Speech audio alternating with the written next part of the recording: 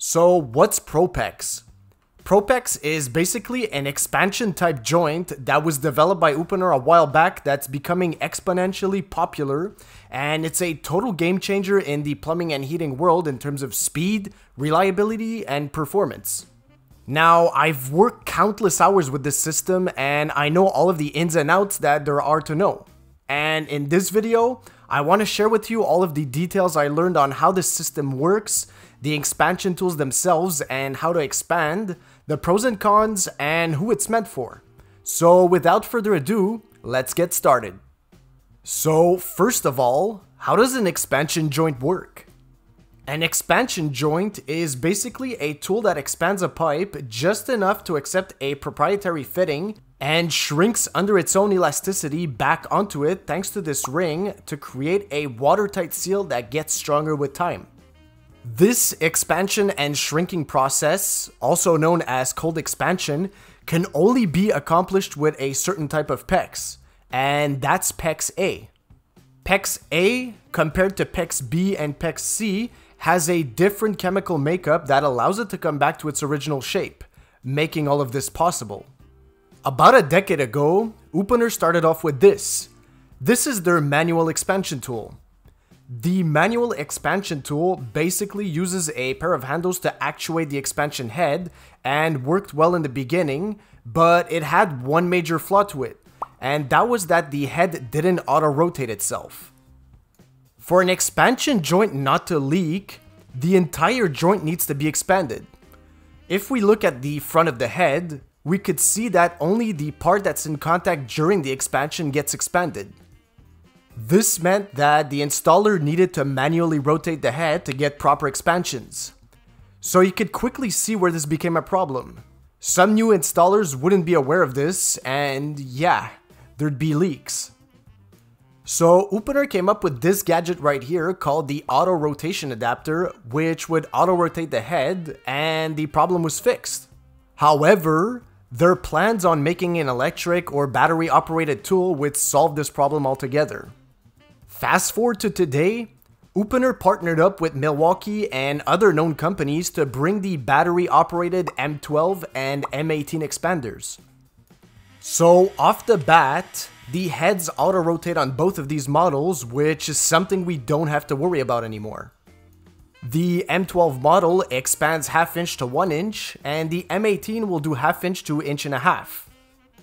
Going from one size to another is pretty simple. Just unscrew the head, make sure it's well greased, and screw the new one in, and you're set. Now, I know you guys want to see the Force Logic behemoth that does 2 inch to 3 inch expansion joints, but I'm keeping the hype for the end. So just follow along for now. So that was some info on the tools.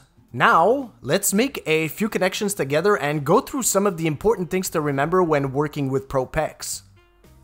The first thing that needs to be done is to push the ring onto the pipe. Before, Uponor's rings didn't have a stopper and would go beyond the edge of the pipe. So they improved them by making a stopper at the front which ensures proper placement, making them basically dummy proof. As we see here, the fitting won't go in, so the next step is to expand the joint until it reaches the shoulder of the die. Give it a few extra cycles to buy you some time and quickly insert the fitting ensuring that it reaches the stops. At this point, you want to keep the fitting there for a few seconds to let the pipe shrink itself and then the joint is complete and ready for testing. It's literally that simple. What's nice about Uponor fittings is that they're full port compared to other PEX fittings. Crimp fittings, which use PEX B, have a smaller diameter compared to Uponor's PEX A fittings as we could see here. This allows for better flow, which means you wouldn't get any loss in pressure when other fixtures are in use. If, let's say, you need to make a connection with two fittings that are close together, there is a minimum length of pipe to respect, and each joint needs to be fully expanded before inserting the fittings. Let me show you what I mean. If you were to expand one side, insert the fitting, and expand the other, the tool's head would go into the other fitting and crack it open. So this procedure needs to be respected. You'd basically fully expand one side, then the other, and alternate on both sides a couple of times before installing it. Here's a chart that gives you the minimum lengths for each pipe size. As for disassembly, it's pretty simple too. Just heat the joint with a heat gun, cut the ring, and pull the pipe out. Just make sure that when doing this, you don't nick the fitting as if you do, it'll leak. On smaller fittings, it might be worth just replacing it, but on larger diameter joints, it could really be worth the time as the fittings start to get really expensive. And lastly, if ever you expanded a pipe and got distracted for whatever reason, you can expand it as many times as you want, so it's very forgiving.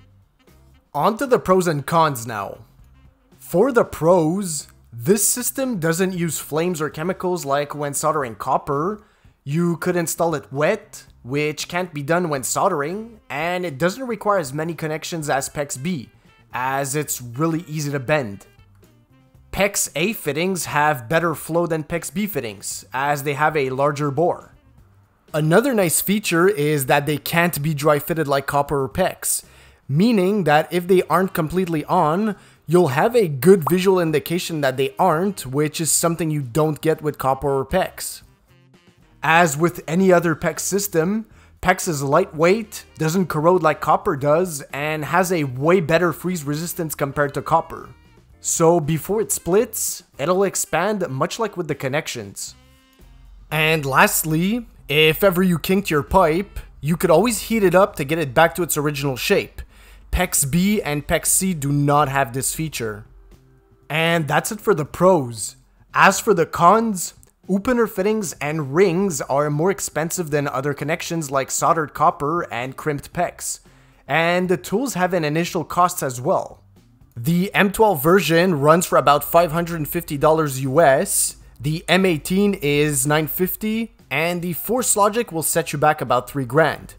So yes, they're a bit expensive at first, but your return on investment will catch up real quickly. Now, you guys have been waiting long enough. This is the Force Logic expander, and it could expand from 2 inch to a whopping 3 inch. That's totally insane. So let's see this bad boy doing its thing. The Force Logic, unlike the two other models from before, will expand automatically after the trigger has been pressed. So it's basically the same thing as the others I showed before. I'm not going to explain everything again, but it's just amazing that we're able to expand to this diameter in such little time with no flames, no chemicals, and with minimal effort. Once it's fully expanded, just insert and you're done. I've soldered quite a lot of 2 inch and 3 inch copper joints in my career, and the first thing that comes to mind when using this tool is that it's quicker, easier, and so much simpler to create a joint you'd normally need to deburr, sand, flux the pipe before actually soldering. And with this, none of that is needed. Also, this system is becoming mandatory on a lot of lead and wooden job sites now. So by using this system, you'd be future-proofing your business, which means more money in your pocket and more time for the next job. So who is this system for? If you're a homeowner looking to do some fixing at home, the manual expander will do just fine. If you're an entrepreneur that does light and heavy residential work, the M12 and M18 might be good options for you. And for the Force Logic, well, it's more meant to be used in heavy commercial jobs. I personally highly recommend the system for anyone who wants to use it. Like I said, I worked countless hours with it and never had a problem. If you guys enjoyed this video, smash the like button, share it, and subscribe for more cool upcoming videos. And until the next one, thanks for watching.